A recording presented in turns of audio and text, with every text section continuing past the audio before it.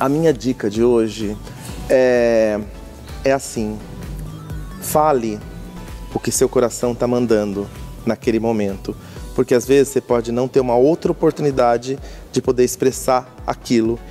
Porque o momento é único, passou, já vem outro. E o de trás já passou tá bom? Então, ó, mandem vídeos, estou esperando vocês para dar seus recados, pedirem suas dicas, suas opiniões, tá bom?